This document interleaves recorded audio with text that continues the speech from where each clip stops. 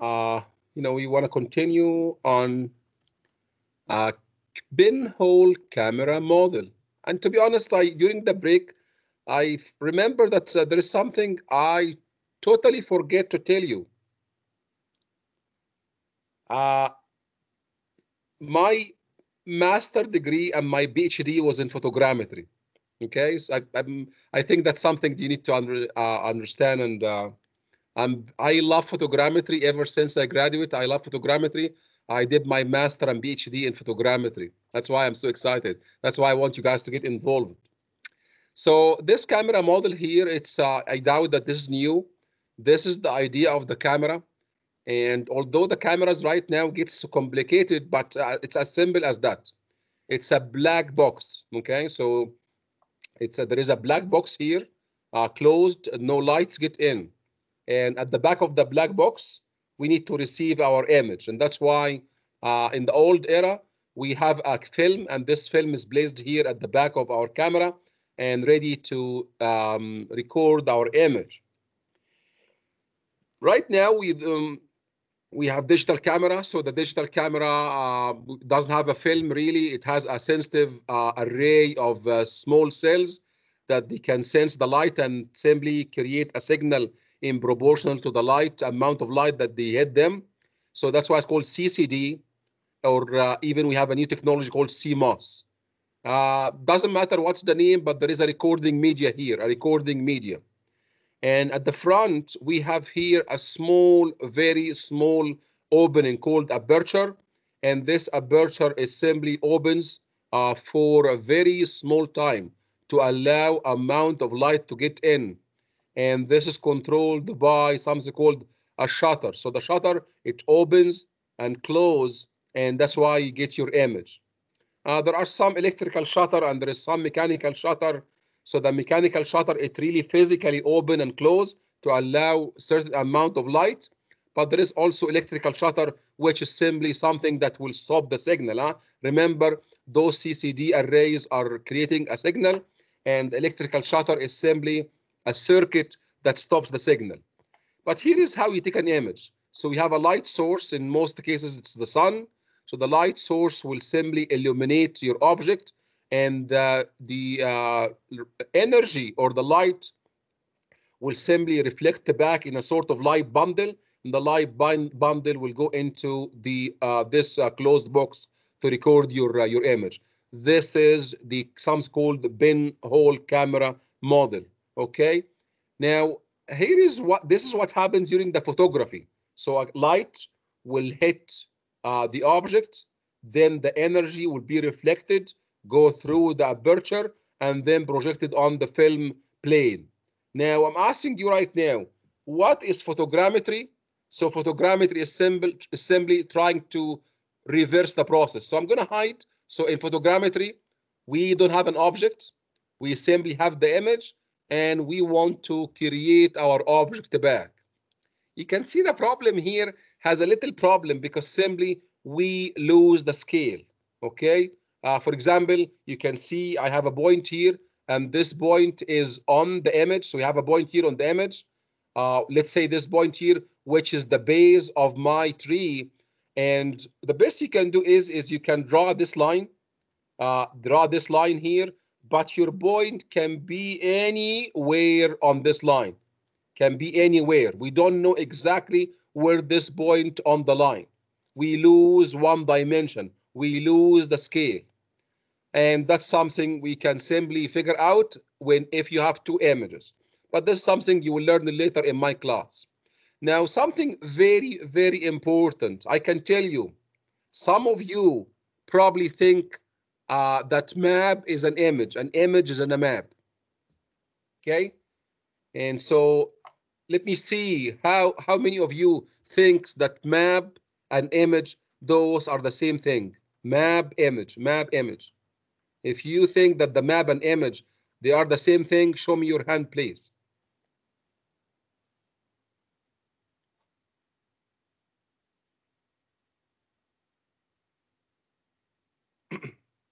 So good news is, the good news is uh, nobody, uh, oh, you, long, you, you think that the map and image, they are the same. Okay, it's not a problem. I'll convince you they are not the same. Watch my screen, please. So you can see here on the left, there is something called map. And really what map is, is simply, here is my map and here is the reality. So that's the reality.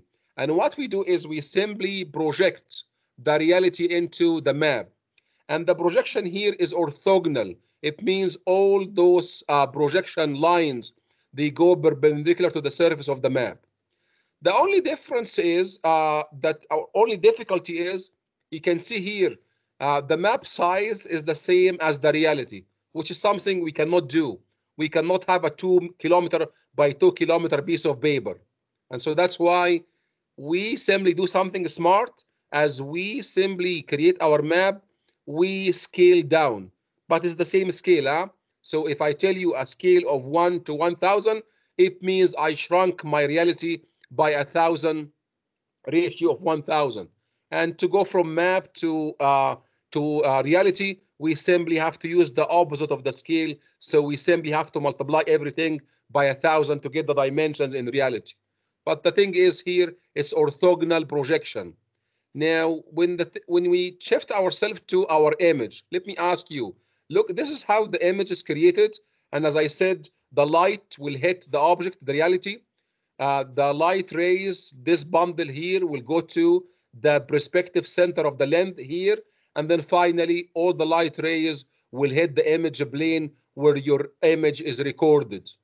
Now, what do we call this kind of projection? Call it perspective projection because everything goes through one point or sometimes called projective uh, uh, projection. So all the light rays, all the light bundles will go to the same point, which is the perspective center of the lens. And so this will create a problem. Okay, now I'll say the, say the problem and then I will show you more details.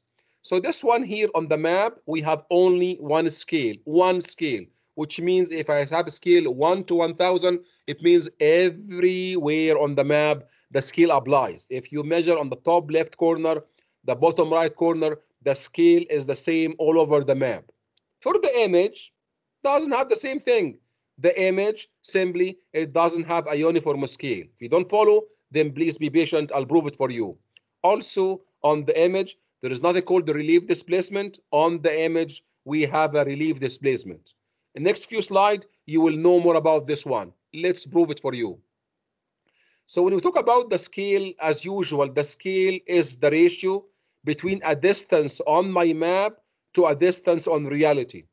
And the same concept applies for image. If I zoom in here, if I zoom in here, then the scale will be the distance on the image. For example, let's say from here to point C, let's say this is the distance on the image, and uh, the distance on reality is from point C to here. Okay, so there is a ratio in between those guys. Okay, however, the thing is the ratio is not constant. So if you divide this distance by this distance, you'll get one ratio. And if you apply to this, apply this, apply the same concept on point B or A, you will get a different ratio. Watch this. So here I have a demo for you to prove my concept.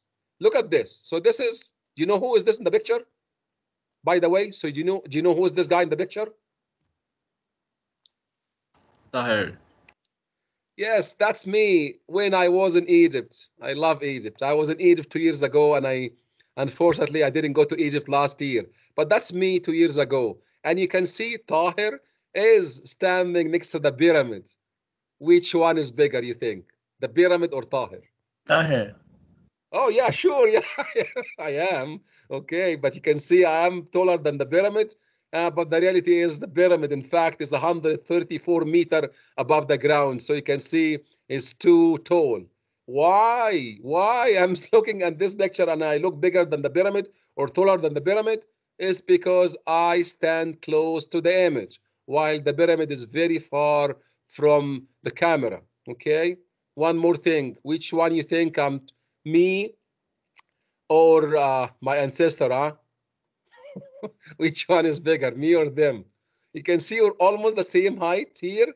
And uh, I'm a little bit closer to the camera. So you know what? They are bigger than me for sure. This is another example you can see here. I'm standing next to a statue where looks like we're almost the same uh, the same height. Now watch this.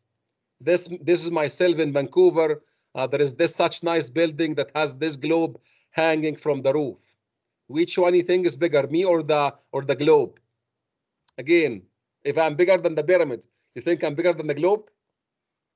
Appreciate that. Thank you. Okay. Anyway, guys, you are probably get it by now that uh, really the image are deceiving. So things are the image doesn't show at the right scale. Things which is closer to the image will look bigger to the camera, and things far from the camera will look smaller. And this is proof my idea. So the idea here is that we don't have uniform scale. In a map, doesn't apply. In the map, if you say something is bigger than other things, it means in reality, this thing is bigger than other things, okay? Which doesn't apply in image. Another thing called uh, relief displacement. Relief displacement, which is, uh, you know what? I will try to make it easy. I'll just skip some slides because this is, shows you the idea of the relief on a sketch, but probably it's easier to see it on an image, okay? Now, please look at my screen. In my screen, there are two buildings, two buildings, okay? And we're looking from the above, from top. Now, I'm asking you, if you see those building on a map, do you think we will get the same view? What's the difference if I see those building on a map and I see them on an image? You guys figure out what's the problem here? Anybody to see what's the problem?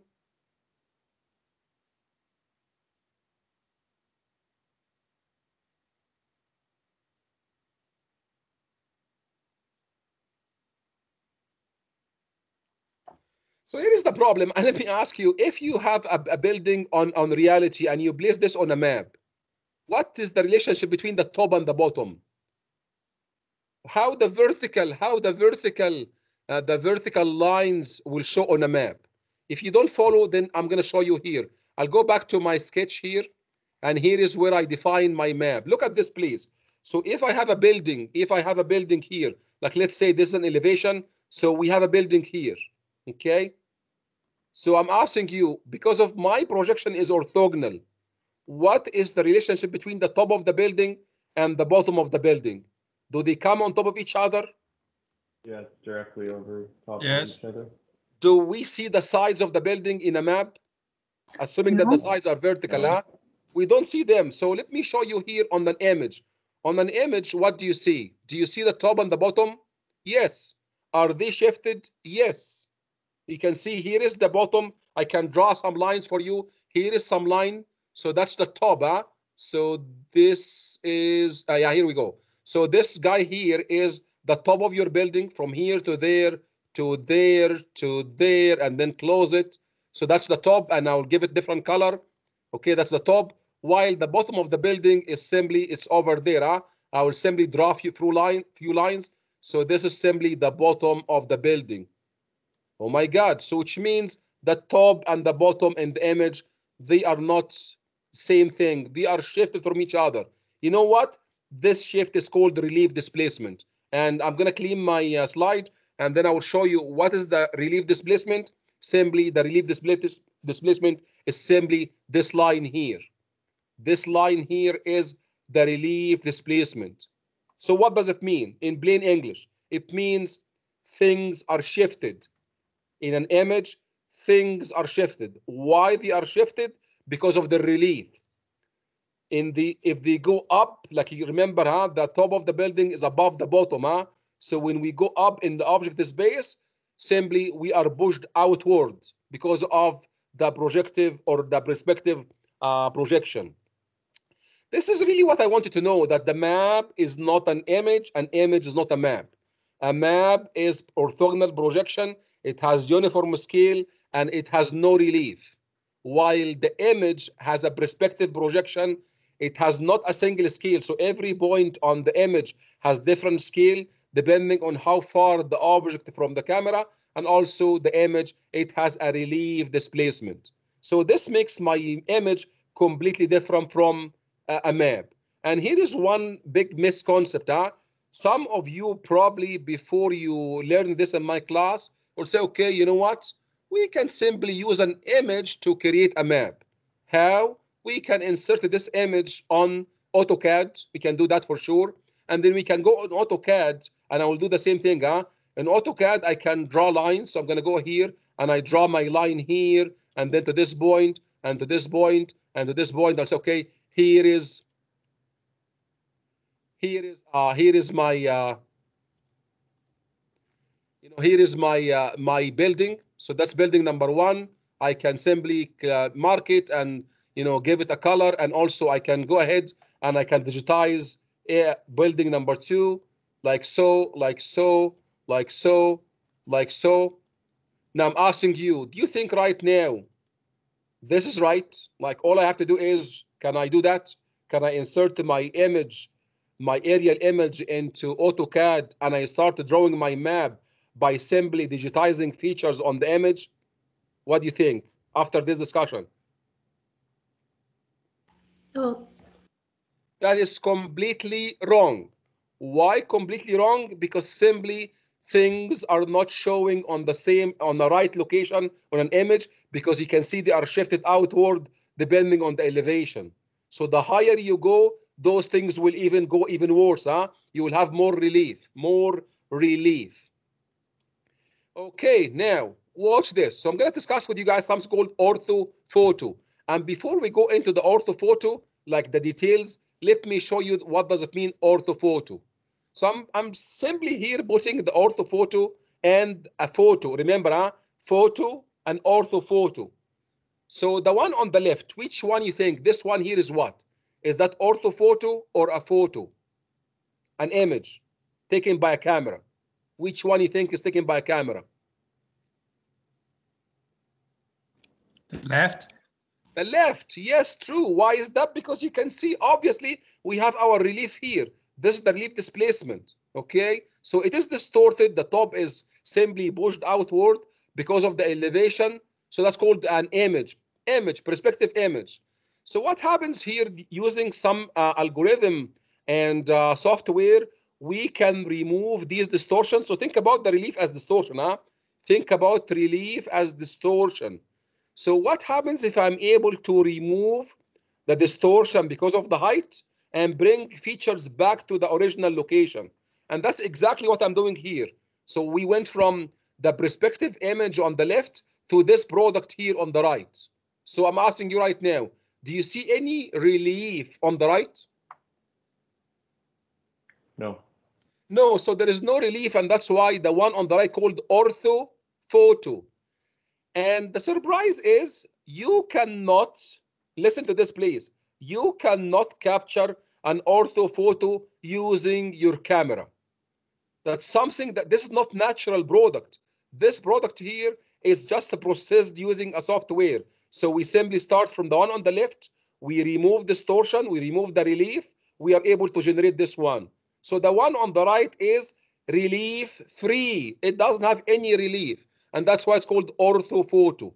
Now, let me ask you one more time. Can I insert this orthophoto into my AutoCAD and I start drawing things like the building? Here is my building. Okay. Here is my building. Can I do that in orthophoto? Can I do that? Yes, I think so. Yes, you can do that because right now, after removing the relief, we get our orthophoto and things are in the right location. So the orthophoto is equivalent to the map. Orthophoto is equivalent to the map. So you can see here there is some discussion about orthophoto. Uh, it's orthogonal projection.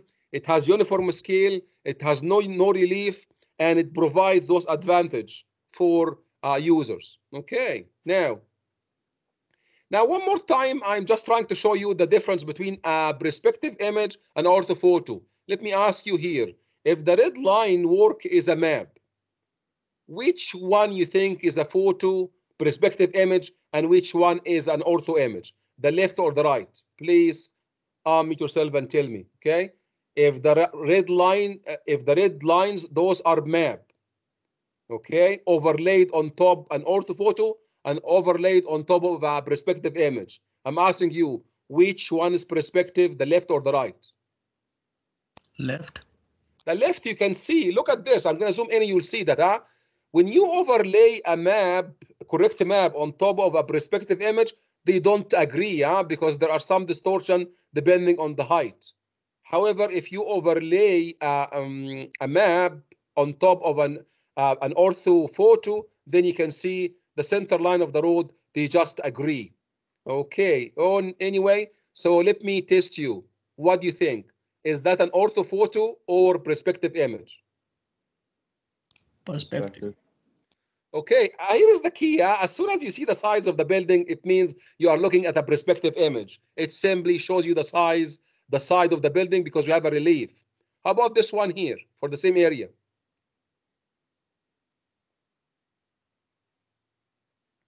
Ortho. This is ortho. Okay, so I want to say something, and hopefully I'm not confusing you. In general, in general, ortho photo is something that it cannot be captured by a camera. It has to be processed. So we take our perspective image, we do some algorithm where we can uh, distort back our features to the right location, kind of removing our relief displacement, so we get an ortho photo.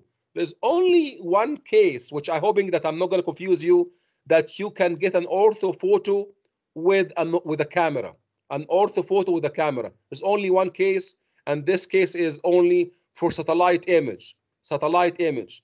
If you place your camera in infinity, like very, very, very, very, very far from the object, in this case, you will get an ortho photo. Okay, but in general, if you have an aerial image taken by a drone like this one here, it will be it will it will be it will not be an ortho photo.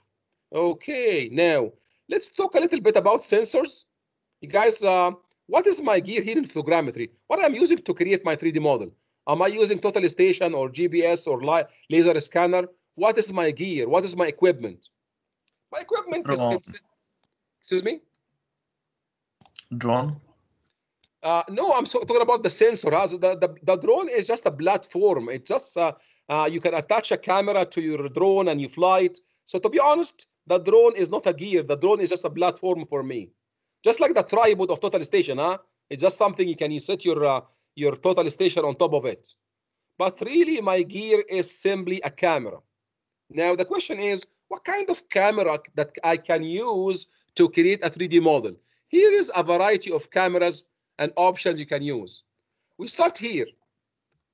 We start here.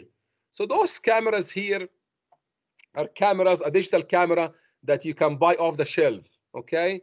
And um, those ones here, they can be maybe 50 megabyte resolution. Right now, there are some amazing cameras available in the market. They're kind of expensive, not, not cheap. They are probably uh, $3,000 or $4,000, okay? So those are available. Now, on the other extreme, we use something called aerial camera. So those are handheld. We can put them on a tripod or handheld, and we can get amazing photos. Now, aerial cameras, aerial cameras are bigger. Because remember, we need to get a better resolution, so they are bigger. And here we have two extremes. We have this camera here, uh, and this is aerial digital camera, aerial digital, okay? So it produces for me a digital image, okay? Called, this camera, it is called um, Zeiss uh, RMK. And this one here is called Leica RC30. It's an old camera. And this one here is analog camera. And what does it mean analog camera? Anybody remind me what does it mean analog camera?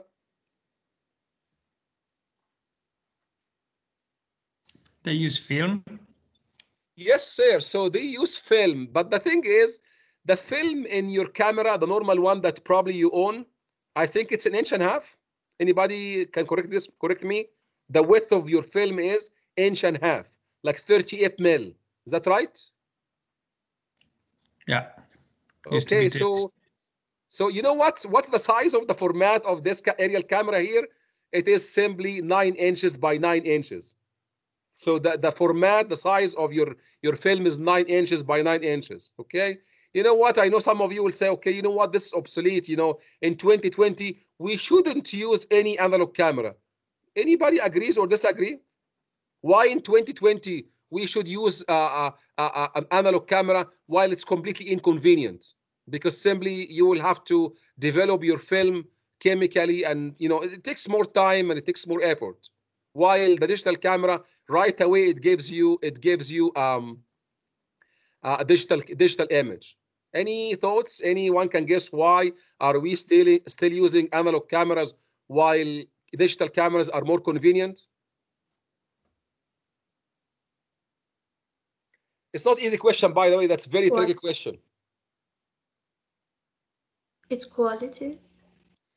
Yes, yes. Well, I know quality is kind of a vague word, uh, but I'm I'm just gonna assume that you're talking about resolution, okay? Which means the size of your pixel.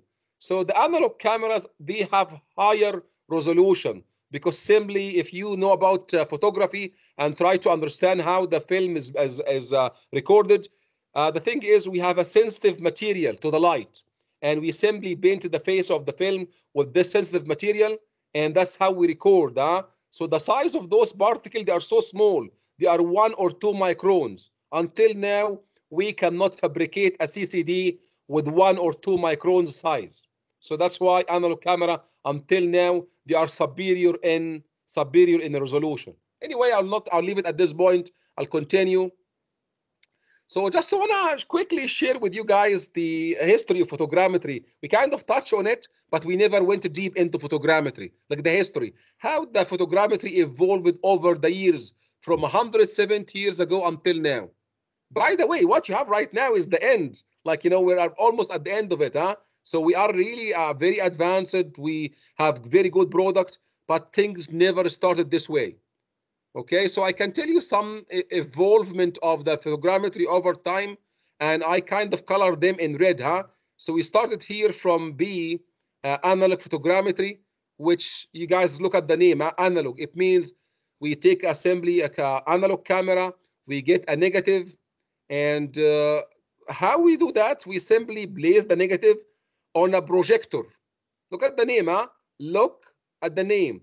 So we hang the the negatives on a projector and we light the projector. So when we light the projector, what it creates, it creates simply a bundle of rays, bundle of rays, same as this. I'm gonna go back a little bit to remind you, same as the camera model. So we take uh, this uh, thing here, this here, and we take our uh, uh, negative and we put light at the back, light at the back of your image, at the back of the negative. So this will create kind of bundle, a bundle of rays. And what happens is we simply, uh, when we start, the bundle of rays will be hazy because we have more than one image. And uh, when you look at your um, projected surface, you will see kind of double image, huh? not only one image, two images. And then what happens is we keep moving uh, the projective, uh, the bro, uh, the proj, yeah, the the images in a way that simply return the situation to what where it was when we take the photos. Like we rotate things and shift things until we create our 3D model. Okay, and then from there we can simply digitize our 3D model. Okay, if you don't follow 100% what I'm saying, you know what? Never mind. So this goes from 1900 to 1950. 1950 here, it's kind of, you know, it's not really a rough number, like fixed number. It's around this time, huh? around 1950. So we use photogrammetry in analog way uh, for about 50 years. Around World War II, World War II, huh? this brought lots of advancement for photogrammetry. Can you guys know why? I already said it. Why? What's the relationship between war and photogrammetry? Planes came out now and they started. I don't know. Excuse me, sir? Like planes and stuff, they started using it to map out. Exactly. That's one thing. But the other thing is, I said it already. You cannot just uh, you're fighting with someone, and so you can you, you need maps for them for their area. You need where they hide. You know what? Because if you know map, if you say map, it means I know location. I know X Y Z. So simply I can simply hit them. So photogrammetry and World War Number Two, they were best friends. Huh? I can tell you, German brought a lot of innovation for photogrammetry uh, during the World War Number uh, Analytic photogrammetry started around this time, where things not really analog, we turn things into math. Math, mathematics, huh? So we turn everything into equations and we solve equation together to simply create uh, our 3D model. And by the way, it's not only about it's not only about uh, uh, like war and only about inventing aeroplanes, but also about computer. Did you guys know when computer invented? Around what time? Around the same time, huh? around 1950s. Huh? So we have around 1950s, we have already computer that can do calculation very, very faster, or at least faster than us. Okay, so that's where analytic photogrammetry started. The word analytic, it means we're not really moving our projector uh, to move our images. Everything, it became calculation. Huh? So we create some equations, we solve them together, and we find x, y, z of my object. Starting in the year of 2000, things are shifting. Why they are shifting? Here, those things. And those new, I'm not going to repeat myself again. We already discussed what happens from year 2000 until now. You can read them on your own time. Three things, huh? Faster computers, development in computer vision, and then finally, high resolution cameras and drones. Okay? So if you are interested to know exactly what's the history of photogrammetry, we have a 36 page, uh, which is available here in this link to tell you what is the evolution of photogrammetry over the last 200 years. Okay, you can take a look if you wish. Now, here is how photogrammetry works. So photogrammetry is simply requires two images. And why? Why do we need two images? Why is that? Why do we need two images? Why one image is not enough? Can anybody tell me why one image is not enough?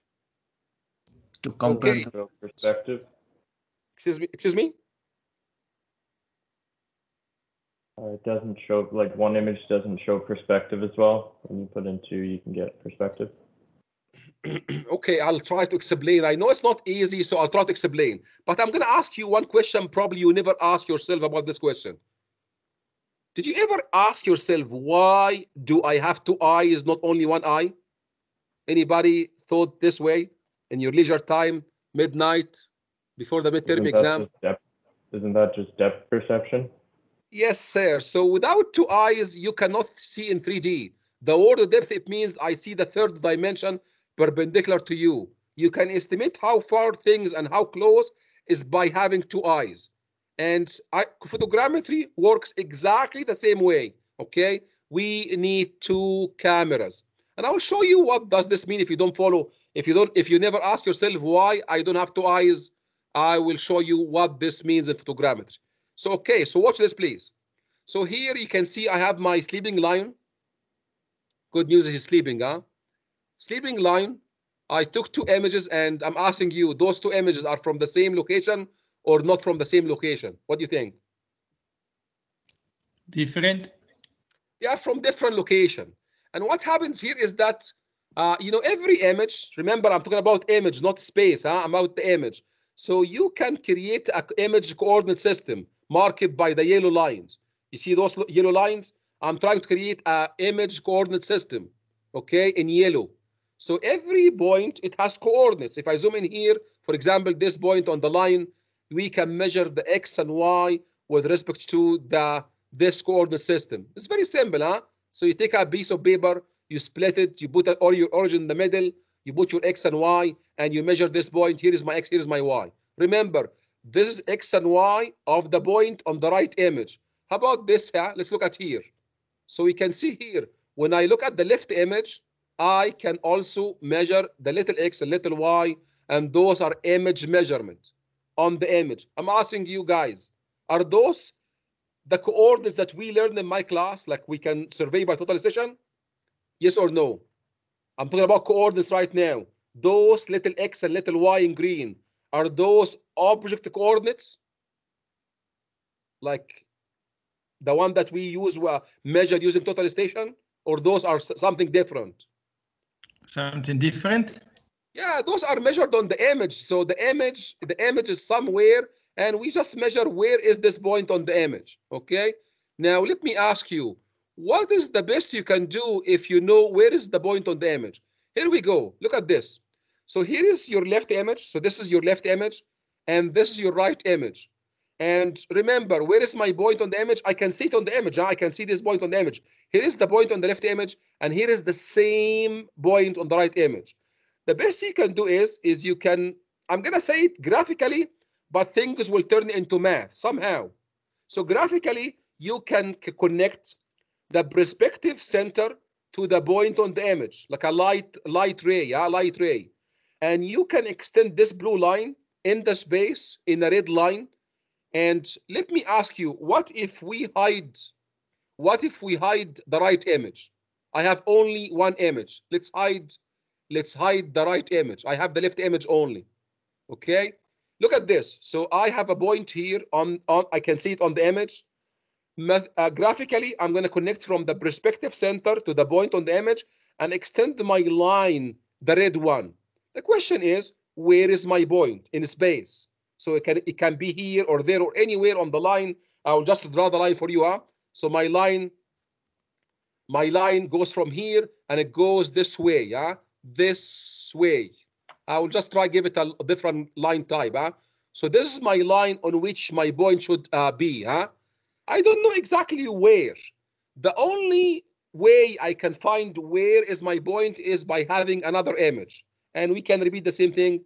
I can see my point on the right image, like the blue dot. I can connect my perspective center to the blue dot. I came up with a line. Those two lines, if I extend them somewhere, they are going to meet. Where they're going to meet? So they're going to meet here. And this point here is uh, your object point your object point. And this point here, I can find my capital X. I'm going to write it here clearly. So this is capital X, capital Y, capital Z. So those are object coordinates in meter. So what are the other small x, small y? Those are image coordinates. I will try to put them in the same. Uh, so here, here is my image.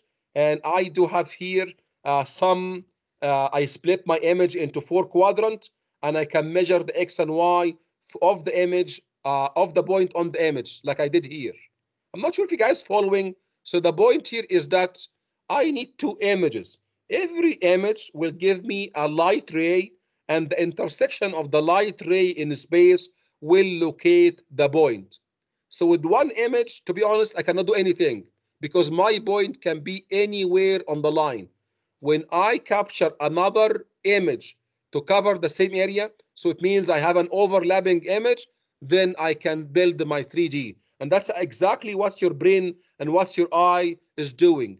You have two eyes, so you capture a left image with your left eye, you capture a right image with your right eye, and your simply your brain will kind of estimate how far things and how close things. Are you guys following?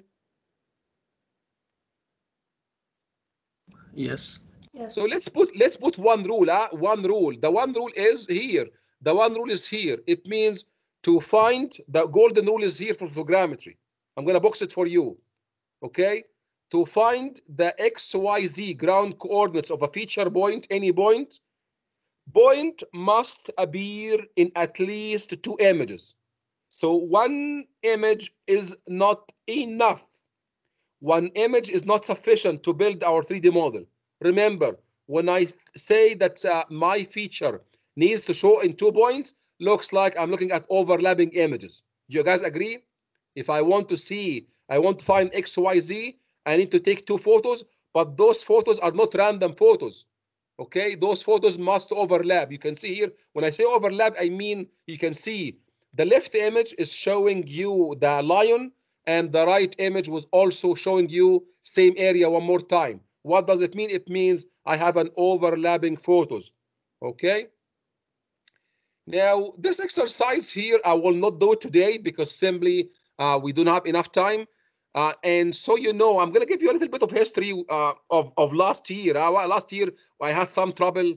I, I've been in the hunt for a software for my students for the last few years. I would like to give them a free software that they can use and exercise photogrammetry themselves. And that's fun. By the way, I myself, you know, do it, uh, you know, very frequently uh, to the point that I let my daughter sit down and I took a hundred photo of my daughter and then I create a 3D model for her. Okay, I'm crazy. Now, last year we used a Meshroom, and Meshroom is a free of uh, charge software that you can download uh, uh, the links that I give to you. However, this year I will not go this way because we had trouble running the Meshroom. Okay, and um, just to give you a little bit of background why the, why we had trouble to run the uh, run the software. The software simply designed on barrel barrel processing. I'm gonna go now right right now. I'll go to IT. Huh? Ah. I'm gonna speak like about computers. Huh? Any of you learn about barrel processing? Barrel processing? Maybe not. Huh? Maybe not. But you will be surprised. Anyone here in this class is a gamer, like plays video game.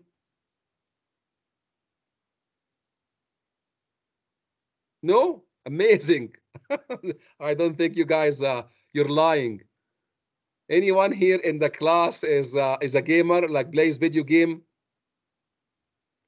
You have to admit to me. Ryan. Okay, so uh, please, okay, if you play video games, I'm asking you, do you use normal computer? Like, does it help you?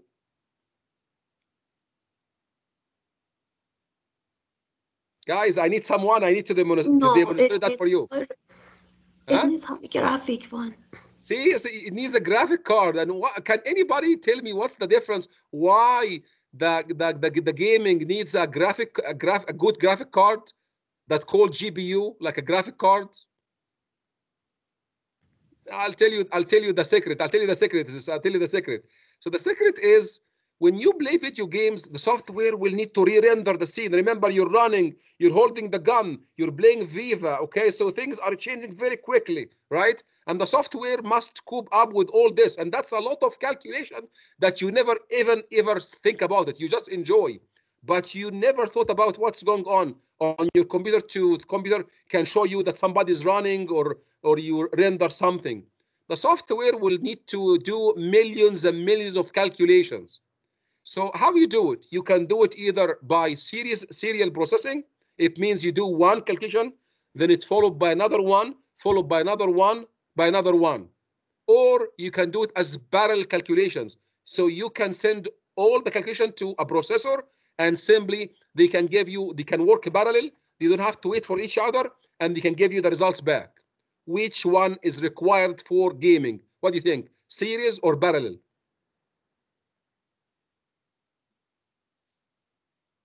Hello. Parallel. Parallel processing, that's really what we need. We need parallel processing because we want to get a very fast answer. And if we have so many processors, then all of them, they can work on the same time and give me my answer. There are some stuff in com- computation. It must be goes on a series because the next uh, result is based on the previous result.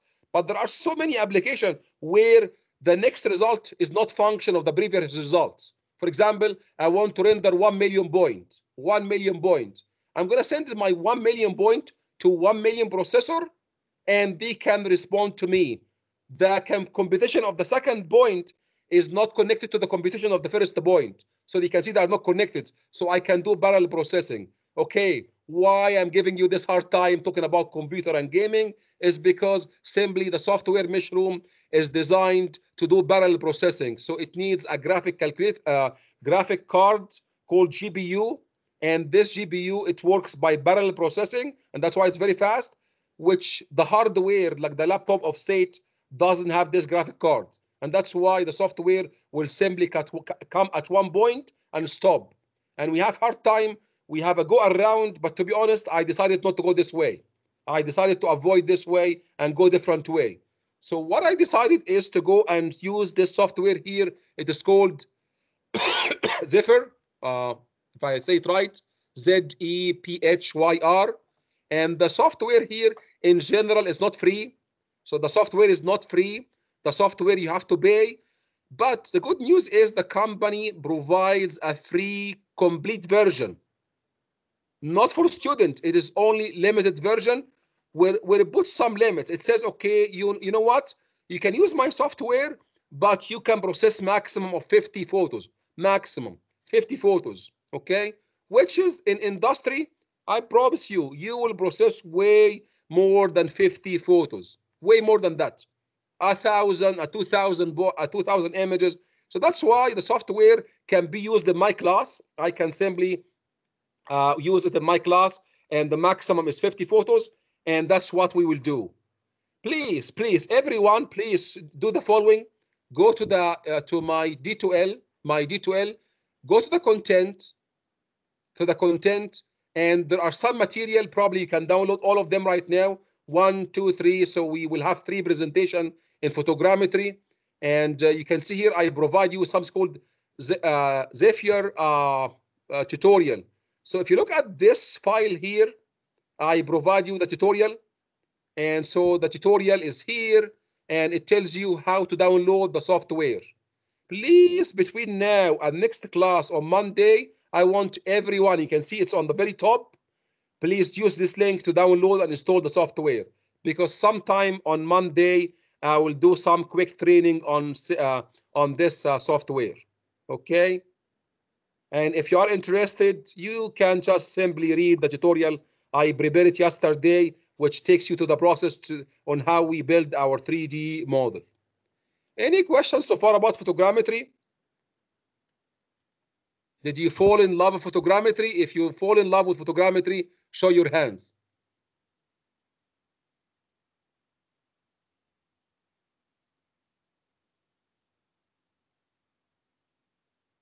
I just love this scene. Thank you so much. Thank you so much. We'll see you guys on uh, we'll see you guys on Monday. Thank you so much and have a good uh, weekend. Thank you. Thanks, you too. Thank you so much. Thank you so much. Bye-bye. Thank you. Bye. Thank you.